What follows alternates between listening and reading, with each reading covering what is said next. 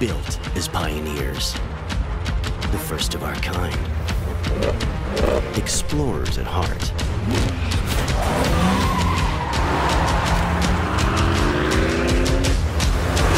Don't mind the limits.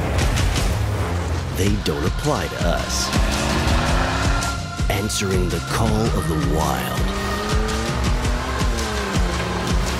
We are the masters of every terrain.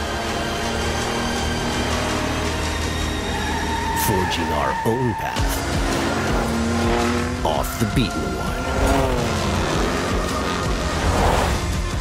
We belong off-road. Where do you belong?